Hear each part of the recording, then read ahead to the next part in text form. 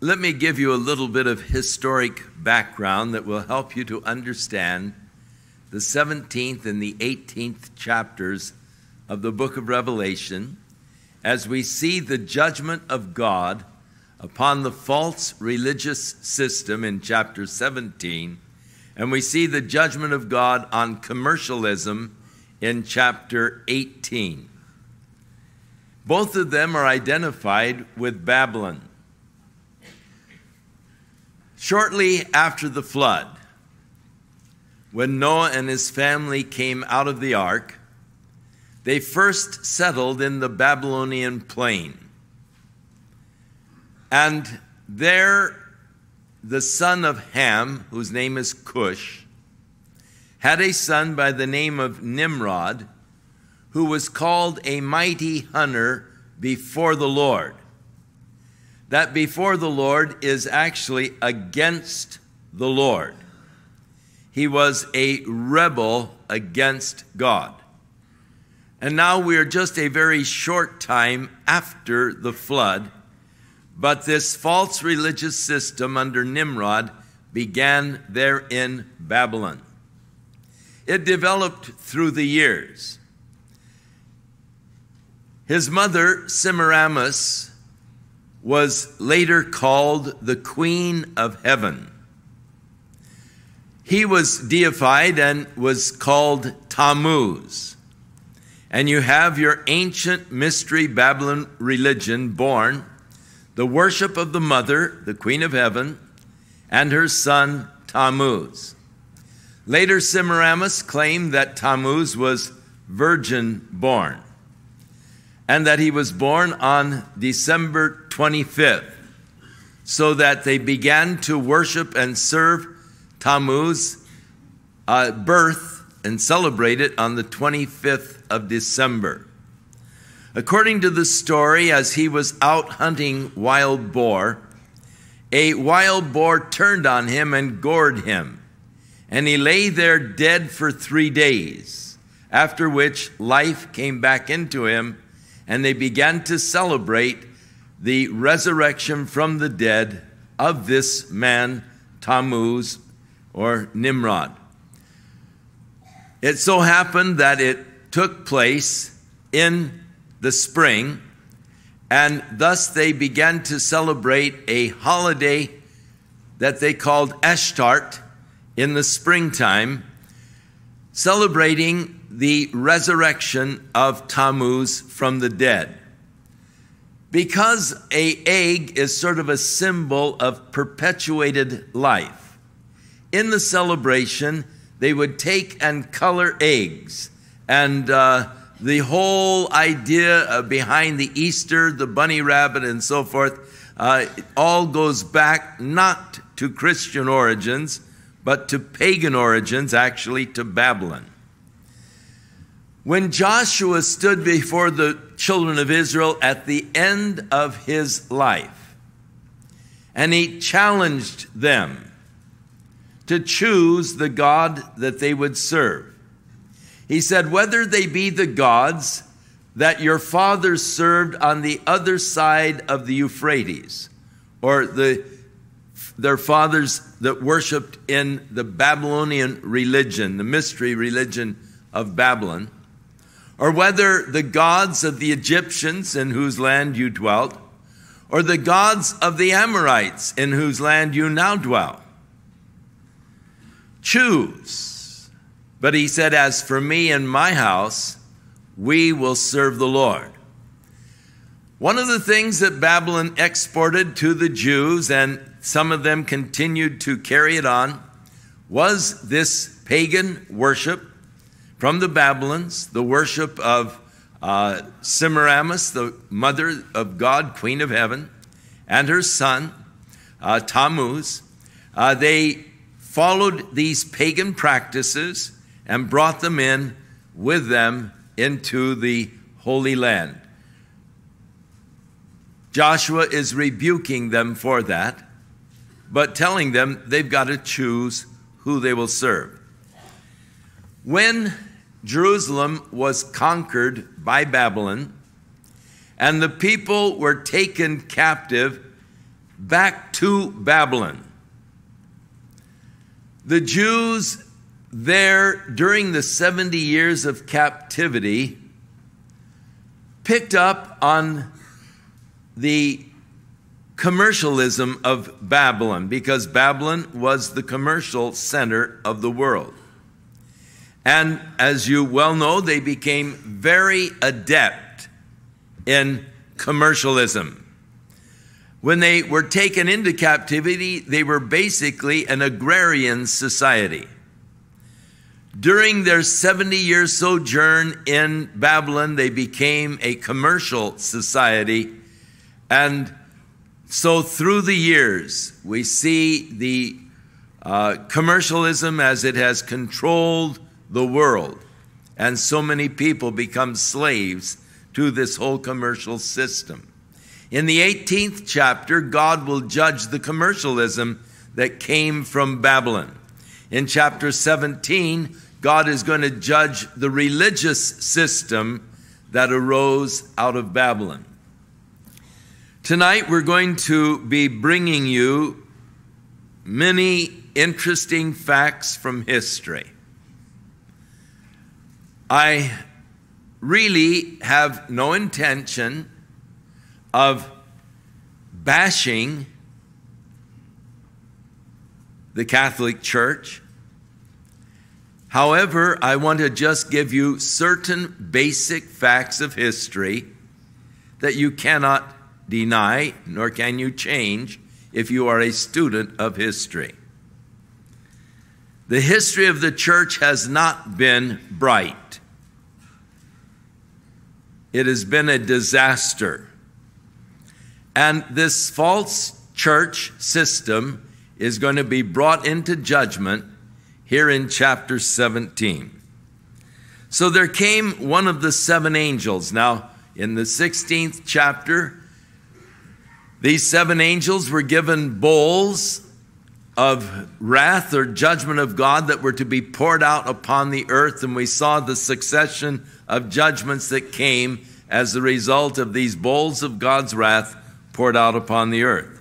Now, one of those seven angels, which had the seven bowls, he talked with me, John said, and he said, Come hither, and I will show unto you the judgment of the great whore that sits on many waters. Now, as we get down further in this chapter, the many waters is identified to John as the nations uh, and the peoples and the multitudes and the tongues uh, upon uh, which the whore has controlled. Now, in the Bible, fornication, whoredom, adultery, are used as symbolisms of false religious systems. In the Old Testament, the nation of Israel was to be married unto God. And God looked upon the nation of Israel as his bride. But when the nation of Israel began to worship other gods, God said that they were guilty of fornication. They were guilty of adultery. When they reached out to other gods, he referred to that as their whoredoms. And thus, the whoredom is the introducing or the worship of gods in an unspecified way or uh, other gods uh, that uh, are uh, an attraction to the people. So the great whore, the false worship, who sits upon many nations, peoples, uh, sort of covers the earth, with whom it says the kings of the earth have committed fornication. That would be spiritual fornication. And the inhabitants of the earth have been made drunk with the wine of her fornication.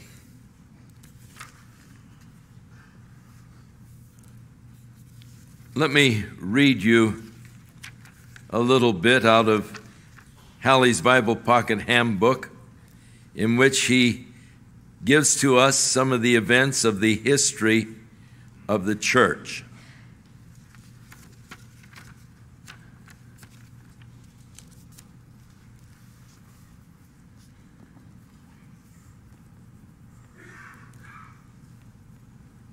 He tells us that Innocent III, who reigned from, or was the Pope from 1198 to 1216, the most powerful of all the popes, claimed to be, and this was the first time, the vicar of Christ, or the vicar of God, the supreme sovereign over the church and the world. He claimed the right to depose kings and princes, and that all things on earth and in heaven and in hell are subject to the vicar of Christ. He brought the church into supreme control of the state. The kings of Germany, France, and England, and practically all of the monarchs of Europe obeyed his will. He even brought the Byzantine Empire under his control, and never in history has any one man exerted more power. He ordered the two crusades. He decreed the transubstantiation. He confirmed auricular confession. He declared that Peter's successor can never in any way depart from the Catholic faith. He declared papal infallibility. He condemned the Magna Charta. He forbade the reading of the Bible in the common languages. He ordered the extermination of the heretics. He instituted the Inquisitions. He ordered the massacre of the Albigenses. More blood was shed under his direction and that of his immediate successors than any other period in the history of the church, except in the papacy's effort to crush the Reformation in the 16th and 17th centuries. One would think that Nero, the beast, had come back to life in the name of the Lamb. That's just historic fact. The kings of the earth have committed fornication. When the church was ruling over the kings, and the inhabitants of the earth, made drunk with the blood of the wine of their fornication. So, John tells us the angel carried me away in the spirit into the wilderness. And I saw a woman sit upon a scarlet colored beast full of the names of blasphemy, having seven heads and ten horns. Now, the seven heads and ten horns are something that we've already discussed in our journey through the Bible. Going back to the book of Daniel, as we were talking this morning, he in his vision saw this ten horns that rose out of the Roman Empire that became the ruling powers in the last days, the Federation of European Nations, and how that out of the ten there came an eleventh horn, the Antichrist, who uh, got control over uh, the Roman or over the revived Roman Empire, the United States of Europe, and his reign in the last days.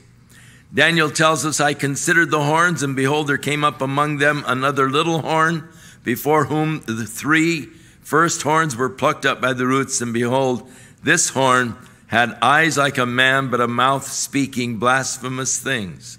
And the ten horns that were in his head, and of the other which came up, and before whom three fell, even the horn that had eyes and a mouth that spoke very great things, whose look was more stout than his fellows. And the ten horns out of the kingdom are ten kings. Daniel identifies them.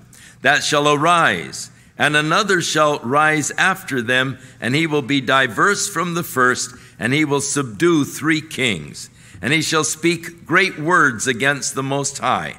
He'll wear out the saints of the Most High, and he'll think to change the times and the laws, and they'll be given into his hand until times a time, times, and a dividing of time are three and a half years. And the king shall do according to his will.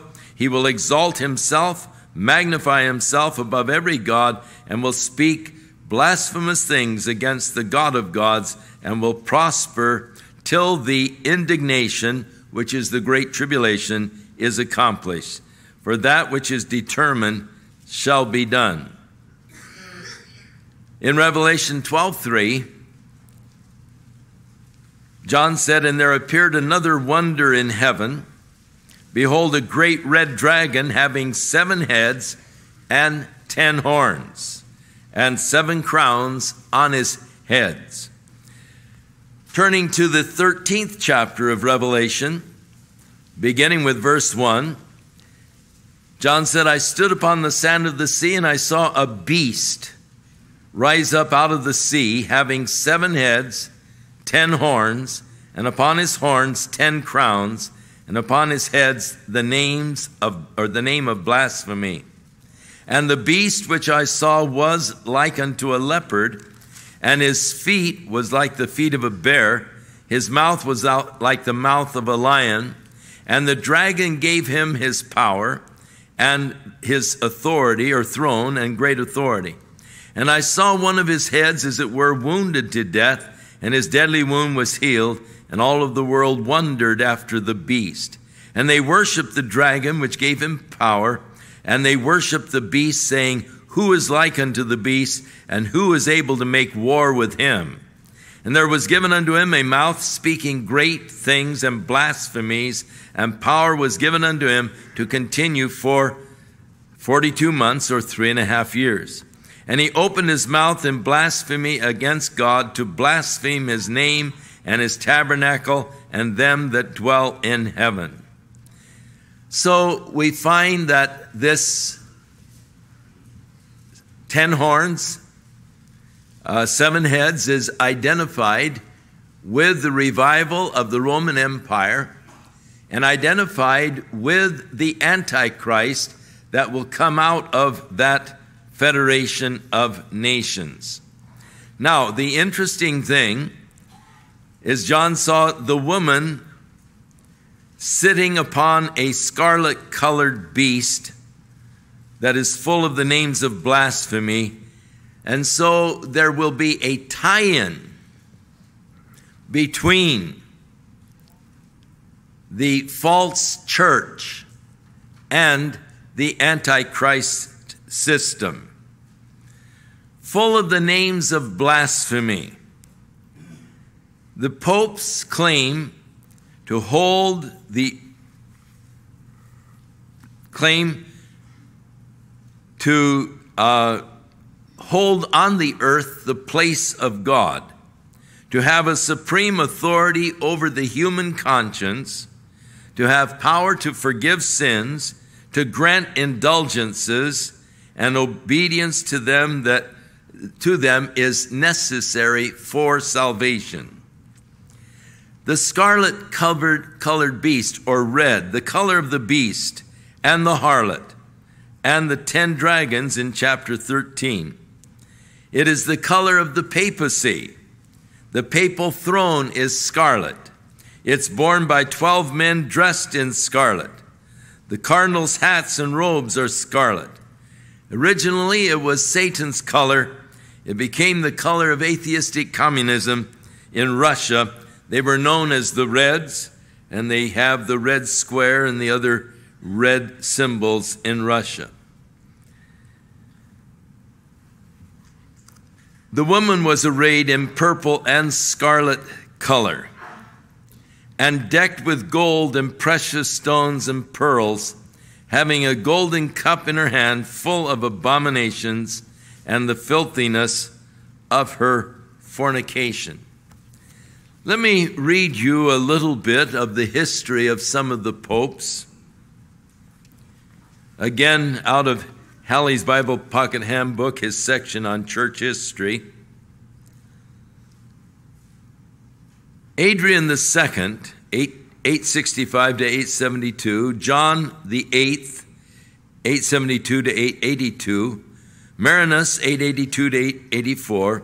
With these posts began the darkest period of the papacy.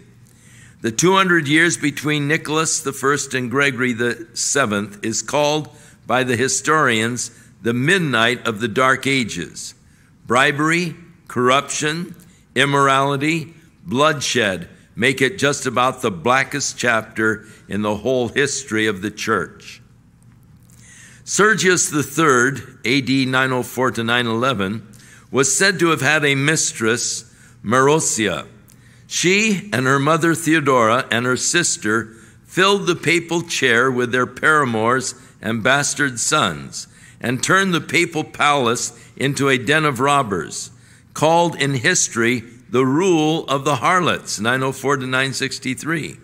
Anastasius III and Lando and John X was brought from Ravenna to Rome and made pope by Theodora for the more convenient gratification of her passion. He was smothered to death by Mariosa, uh, Mariosia, who then in succession raised to the papacy Leo VI, Stephen VII, and John XI her own illegitimate son. Another of her sons appointed the four following popes Leo VII, Stephen VIII, Martin uh, the Third, and uh, Agapetus II, John the Twelfth. A grandson of Mariosi uh, was guilty of almost every crime. He violated the virgins, the widows, high and low. He lived with his father's mistress, made the papal palace a brothel, and was killed while in the act of adultery by the woman's enraged husband. Vicars of Christ, representatives of God upon the earth. And so, John, writing under the inspiration of the Holy Spirit, speaks of these things that the church would be guilty of the woman arrayed in purple and her joining together in the last days in promoting the power and the reign of the Antichrist. And upon her forehead, verse 5, was the name written Mystery Babylon the Great, the mother of harlots and the abominations of the earth. When Constantine was supposedly converted and declared that Christianity would be the religion of Rome, he signed the Edict of Toleration, which ended the many years of great persecution by the Roman government against the church. Thousands, in fact, they estimate as many as six million believers were martyred during the first 250 years of the church's history as the Roman government sought to wipe out this new sect that they looked upon as a danger to Rome. But when Constantine came into power, he felt that the Lord had given him a vision in one of the crucial battles. He saw the sign of the cross and under it the words, In this sign conquer. So when he won that battle and became the emperor of Rome, he declared Christianity as the state religion. But Rome was pretty much paganized. The Babylonian influence, the religions of Babylon had heavily influenced the Romans. Uh, many of their practices were borrowed from the Babylonian religion. One of them was this celebration of December 25th, which was the Babylonian holiday for Tammuz. The Romans celebrated it under the name of Saturnalia. And they had many different customs that uh, accompanied the celebration of Saturnalia, but it was basically a pagan holiday. Now, Constantine recognized the difficulty of taking away traditional holidays from the people. And so it was declared that 20, the 25th of December was the birthday of Jesus. And so we'll be celebrating the birthday of Jesus on the 25th of December.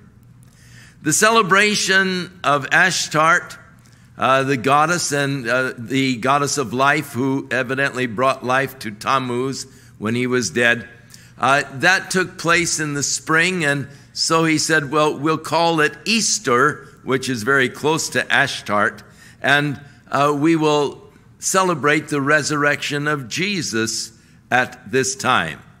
And so, what they did was sort of adapt the pagan holidays, giving them Christian names and allowing the people to go on with the same pagan customs of drunken parties and all uh, during the Christmas season. And so we see today how that uh, it is sort of reverted back to its pagan celebrations. Christmas now is a big time for commercialism. It is a big time for office parties, drunkenness, and uh, all of the things that take place under the guise of celebrating the birthday of Jesus Christ. And so it's something that, uh, though they tried to Christianize it, it has its pagan roots and it is surely going back to its pagan practices in the world today. Under this mystery Babylon religion, the worship of the mother of Tammuz, who was known as the Queen of Heaven, in many pictures that they have found from the Babylonian era. Pictures that were drawn hundreds of years before Jesus and the birth of Jesus. Have the mother and child with the halos above their head, which were representing Semiramis and Tammuz.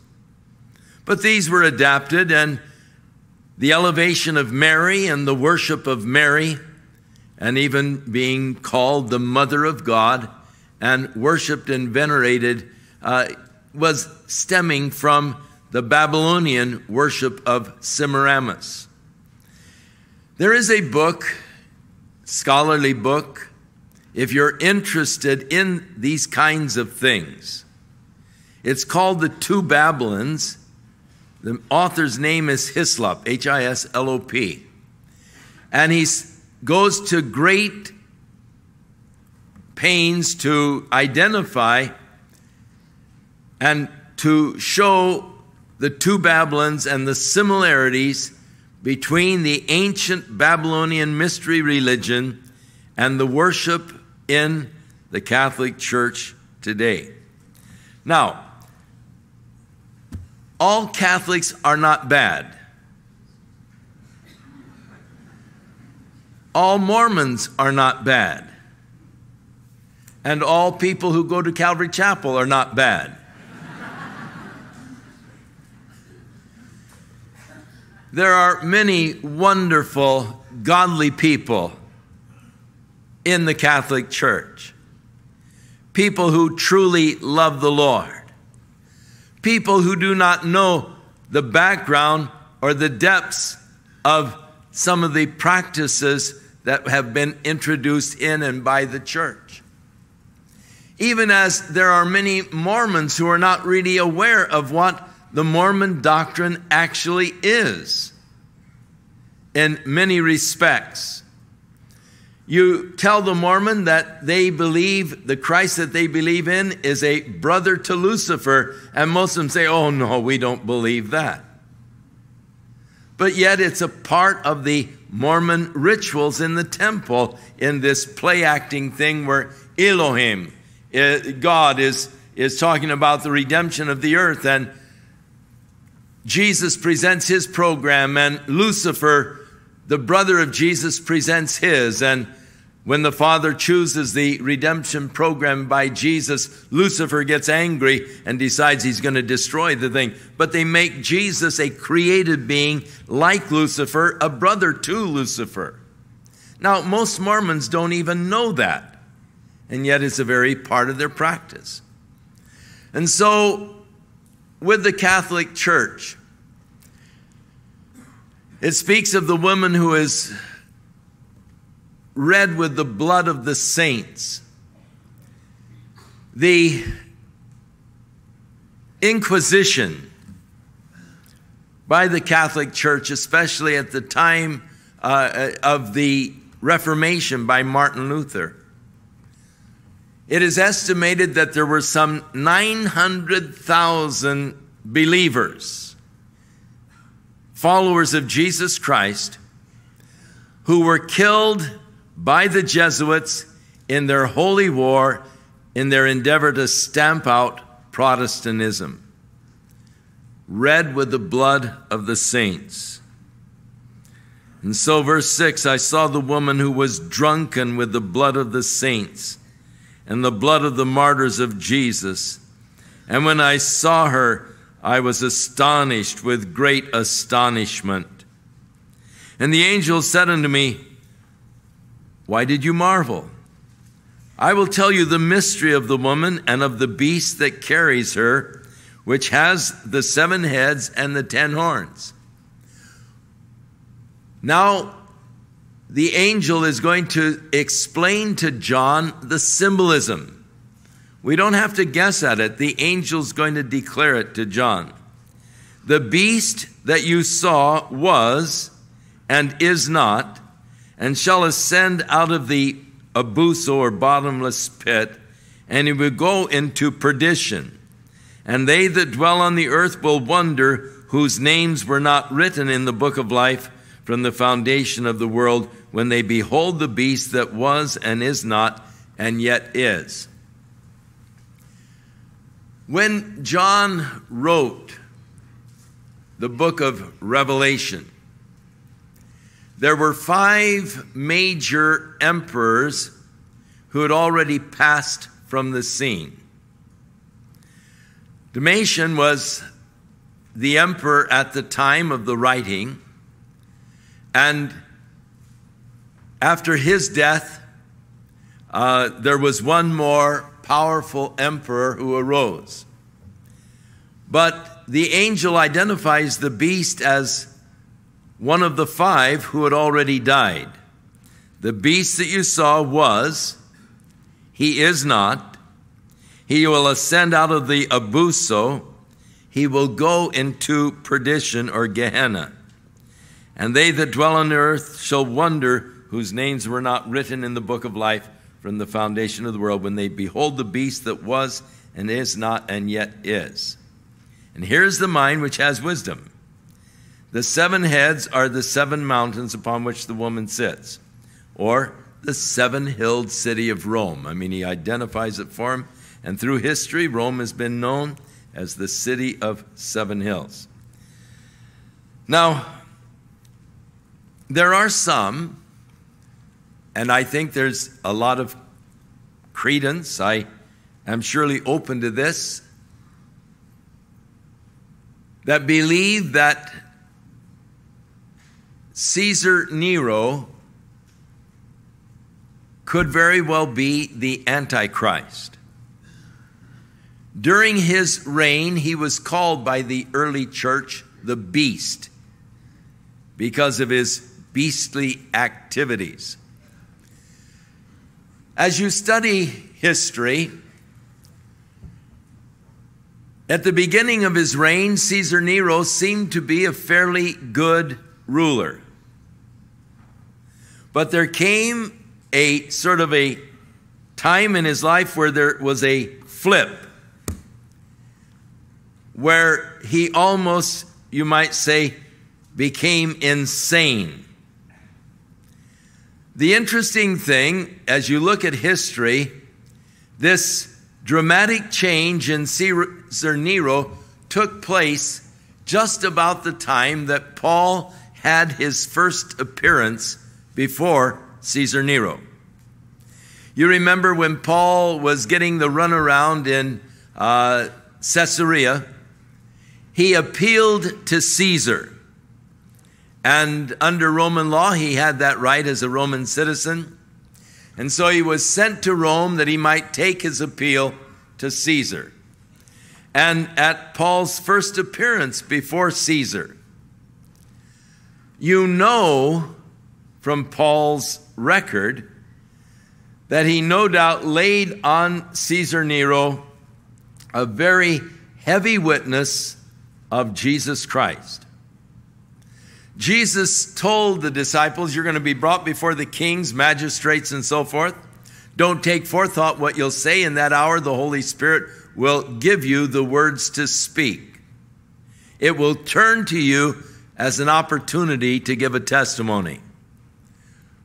Paul believed that. And as you look at the book of Acts, when Paul appeal, uh, appeared, first of all, uh, before uh, the Jews uh, there uh, in Jerusalem, and he asked the captain of permission to speak, Paul gave to them a testimony. He had been arrested by the Romans or brought into protective custody by the Romans. And as he spoke to them, he gave his testimony of his conversion. When he was taken by the Roman government down to Felix, the governor of the area at the time in Caesarea, when Paul gave his defense before Felix, he witnessed to him about his conversion and about judgment and salvation and, and the judgment to come. And Felix was visibly shaken by the message, so powerful it was, but he rejected it. When Felix was removed and uh, Festus became the uh, governor, the Roman governor over that province. The case of Paul was brought up again, and Paul, before Festus, gave a very strong witness of Jesus Christ. When Festus had to send Paul to Rome because of Paul's appeal, he had a problem because he really didn't have legitimate charges. And he knew that he would be in trouble before the Roman Senate because of the miscarriage of justice. He should have released Paul, but he was holding him as a political pawn. And uh, Festus realized that when Paul got to Rome, it would be curtains for him because the Romans prided themselves on Roman justice. So when King Agrippa came to visit him, he said to Agrippa, I've got a prisoner here that the Jews have a, you know, some things against, and he's appealed to Caesar. I've got to send him, but I really don't have any real charges.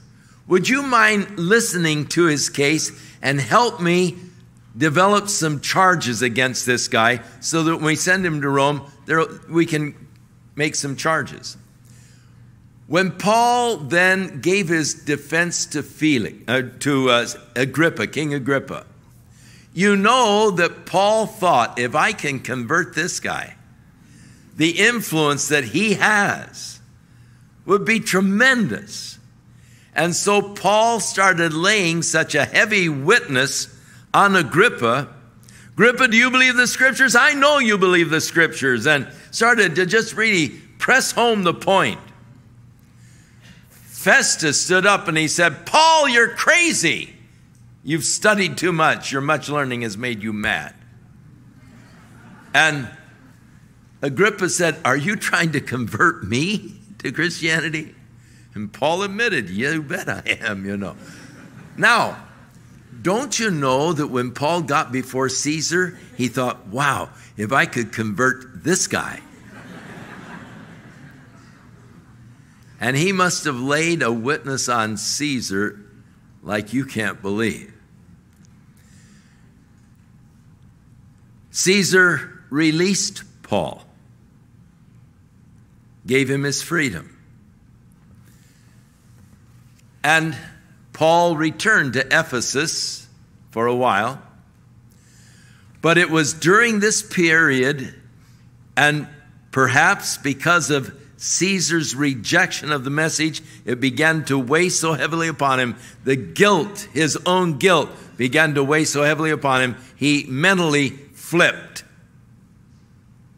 And he began the arresting and the torturing and the murdering of the Christians. He would put Christians on poles in his garden, cover them with wax, and light the fires, and he would drive his chariot under the light of the burning Christians, naked and screaming. Of course, we know Caesar mainly for his burning of the city of Rome, fiddled while Rome burned, and then sought to blame it upon the Christians in order to institute greater persecutions against the Christians. And because of the horrible things that he did, the early church called him the beast.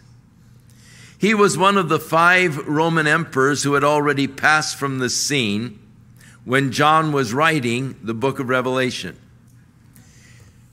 John tells us that the beast is one of those that had fallen.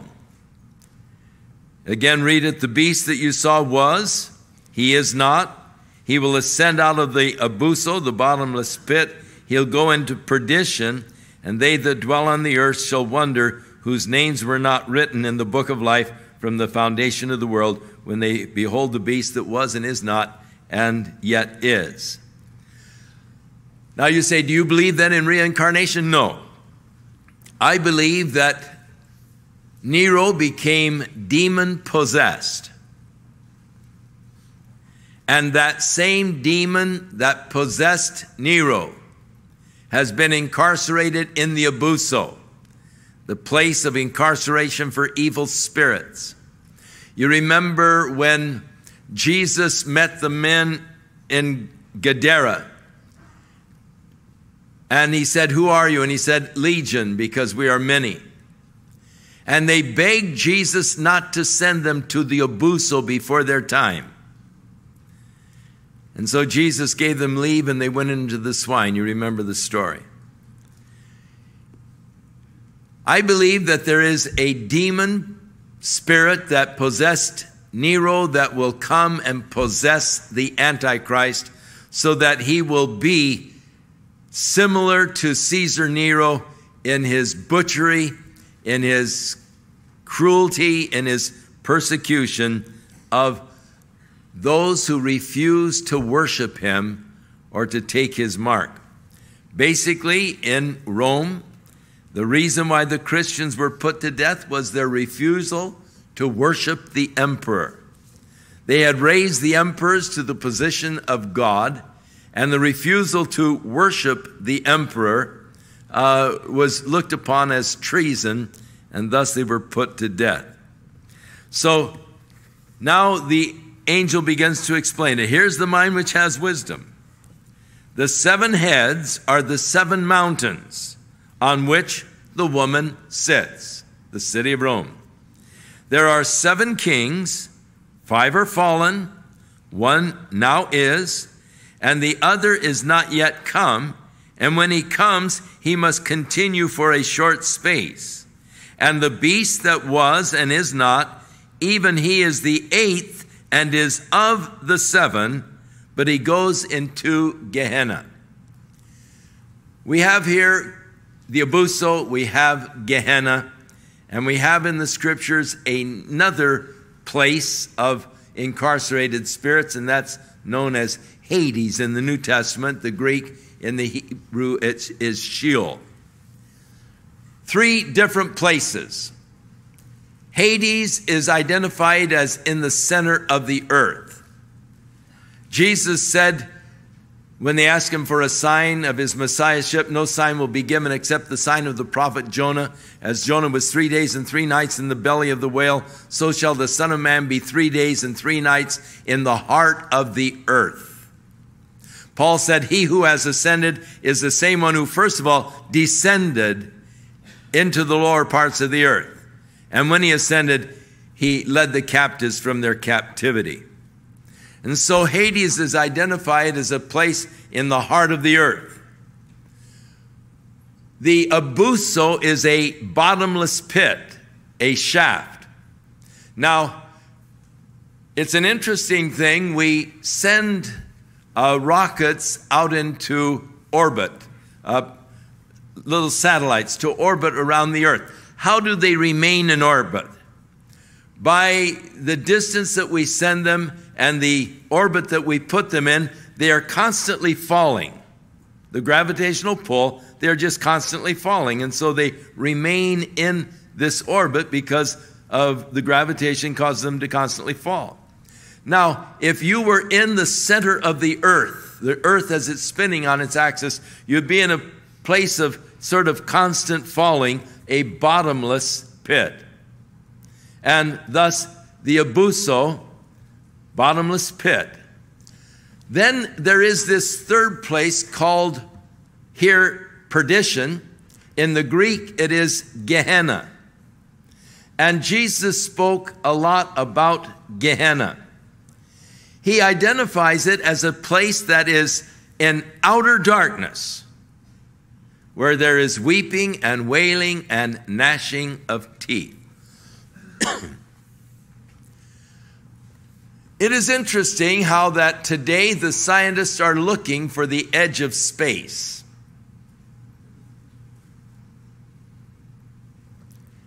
And the interesting thing is that the more powerful telescopes and all that we develop, the further out we find that space expands. Is there a place out there where is the end of space? The furthest galaxy out there, uh, is there a sign that says end?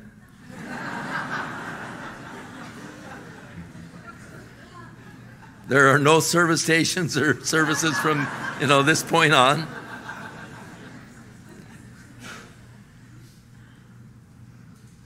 Our, our poor minds, you know, when you try to think of that, uh, your much learning can make you mad. So don't, don't try and figure that one too long. Just let it go and, and, and just sort of smile at it and say, well, it's sort of, you know, interesting. Our finite ma- minds cannot really comprehend the infinite.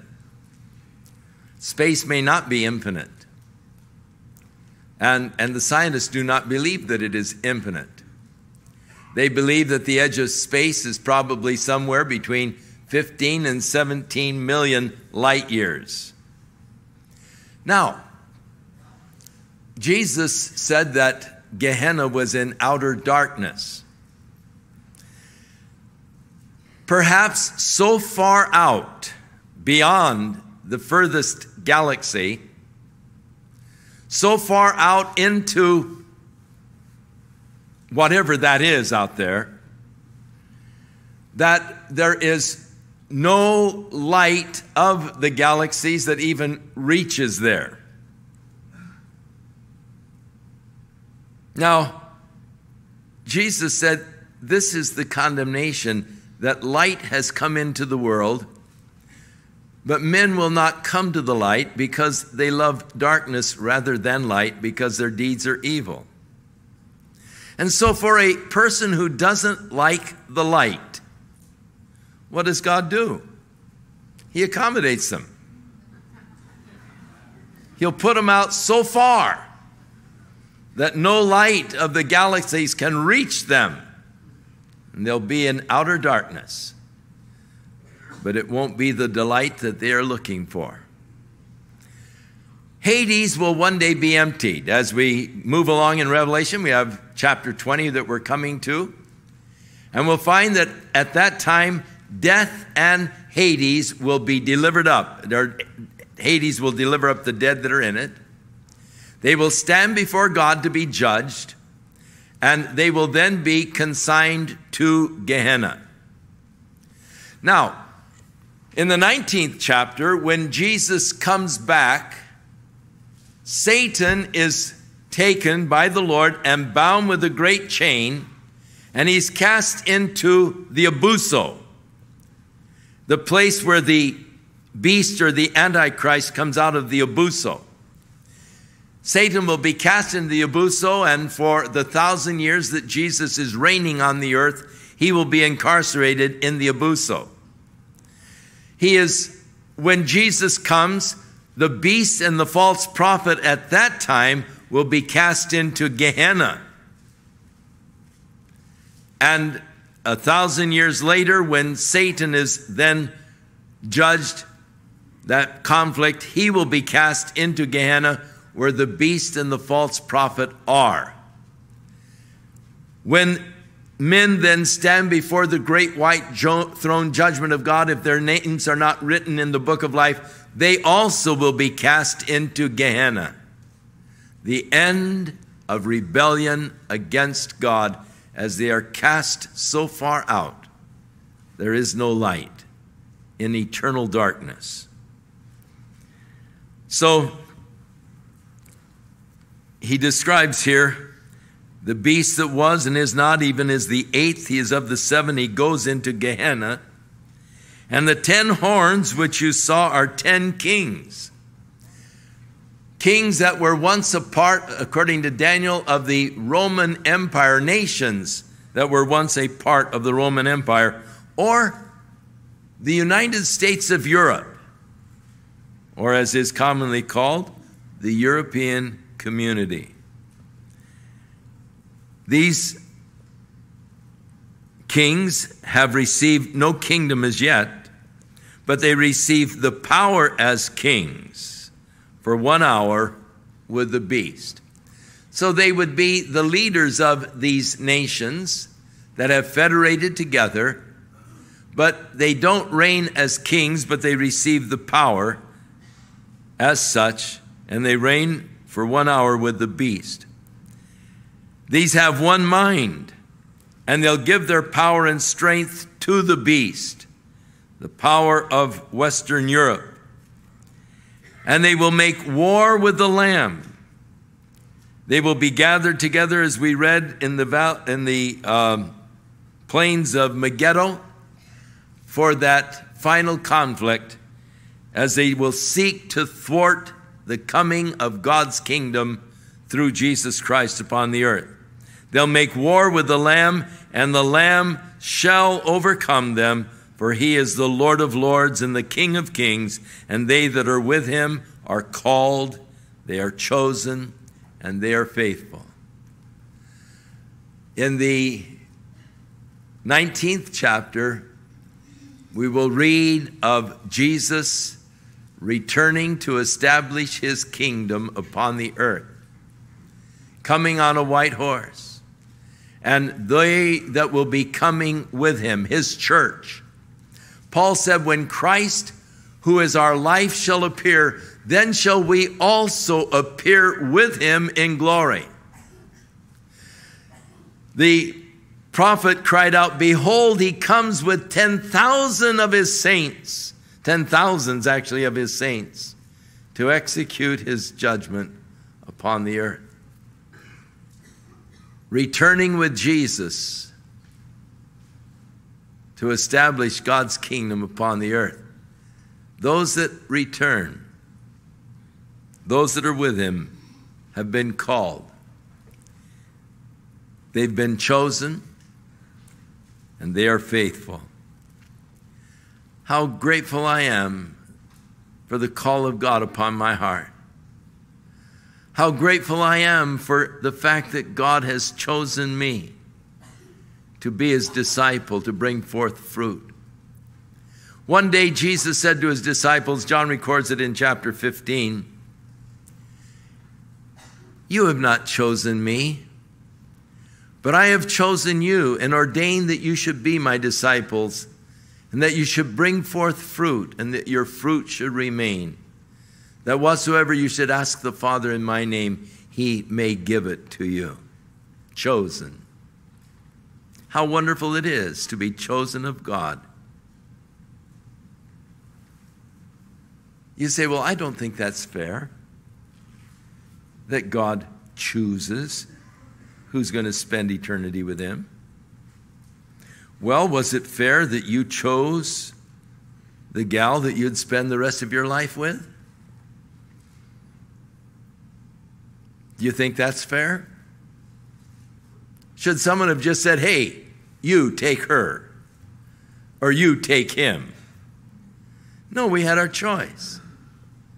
And we're thankful for that, aren't we? After all, you're going to spend the rest of your life with them. You, you'd like to have a choice in that. You don't want them just dump someone on you. You like a choice.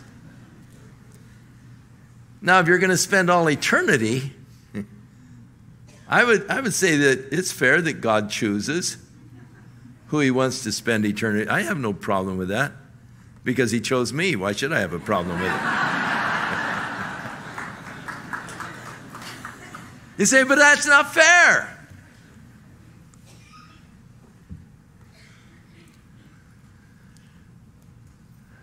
Well, we have choice. And the interesting thing is that God has given you a choice who you want to spend eternity with. And it's really your choice. You have the power of self determination. God has given you that.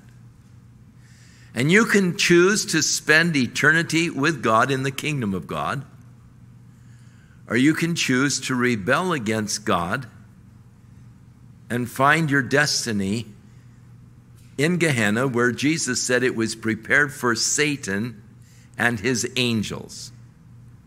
Your choice. So it's one of those interesting sort of anomalies that it is your choice, and yet when you choose to follow Jesus, he says, Look, you didn't choose me, I chose you and ordained you that you should be my disciple you should bring forth fruit. It's something that we can't quite understand. You say, but how do I know if he chose me or not? Well, it's very easy to discover. Just choose to follow Jesus. Choose to surrender your life to him, and you'll discover that he chose you. That's simple enough, isn't it? You say, but but what if I don't want to choose him? Well, then maybe he didn't choose you. but that doesn't take away from the fact that you have the choice. Now, because he is omniscient, he is God, he knows all things, he knows those that will make that choice.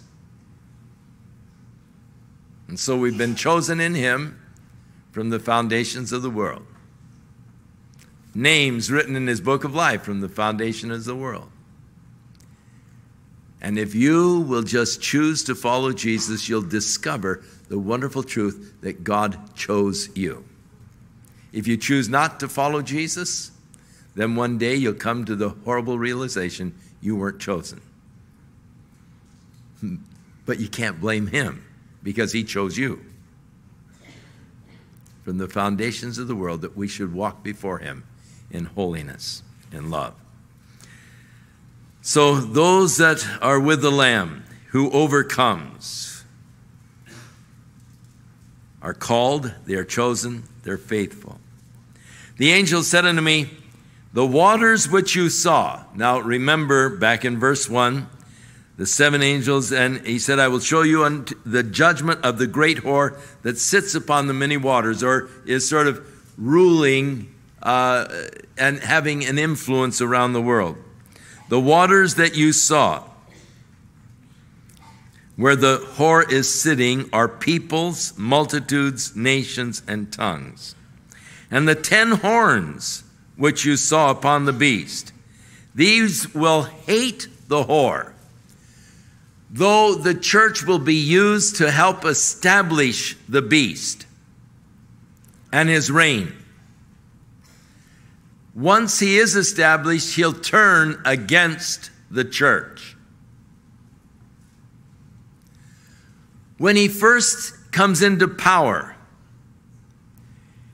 he will make a covenant with the nation of Israel. They will begin to acclaim him as the Messiah.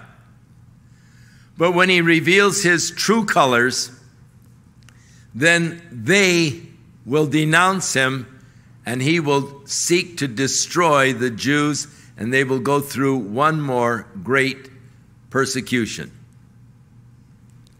Jesus talked about that time, warning the Jews to flee to the wilderness. We're told that God has prepared a place for them where they would be sheltered for three and a half years. That is, the final three and a half years of the reign of the Antichrist. So they'll hate the, war, the whore, and they'll make her desolate and naked, and will eat her flesh and burn her with fire.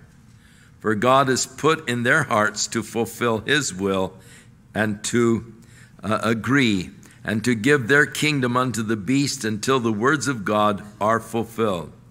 And the woman which thou saw is the great city of Rome, which reigns over the kings of the earth. So, the judgment of God upon the false religious system of the last days. As we move into chapter 18, God will deal with the commercialism, again, that had its birth in Babylon, but controls the lives of so many people, holds them in slavery today. The commercialism that we see in the world, the judgment upon it. And then, oh boy, can't wait. We get to chapter 19 and we go to heaven once again with the church, the glorious marriage of the Lamb to his church. So, getting into the exciting portions of the book as we are closing out our journey through the Bible. Let's stand and let's pray. Father, we look at the passages of Scripture here, and you said that this is the mind that has wisdom and you began to explain the symbolism of the chapter. And Lord, we pray that you'll give to us wisdom in understanding these things. Lord, it is our desire to walk before you in all holiness, righteousness, and purity. And Lord, we know that in the last days that those did, did not have a love for the truth will be given over to a strong delusion that they might believe the lie rather than the truth. But Lord, help us to walk in your truth. Open up our minds and our understanding to your plan for the future. And Lord, we do pray again that we will be accounted worthy to escape these things that will be taking place upon the earth, and that we might be there with your church in heaven around the throne of God, worshiping the Lamb forever. In Jesus' name we pray. Amen. Down in the front, our pastors are here to pray for you, whatever need you might have tonight. They're available to minister to you.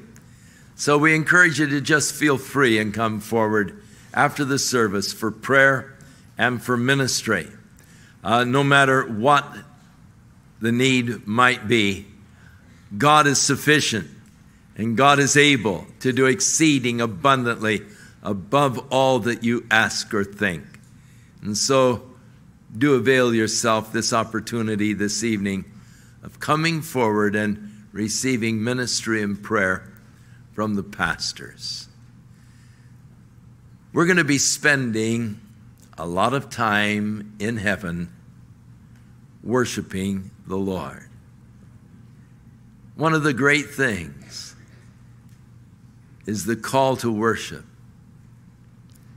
Let's worship him before we leave tonight.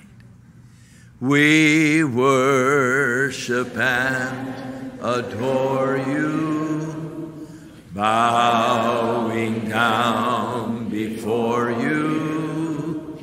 Songs of praises singing, hallelujahs ringing.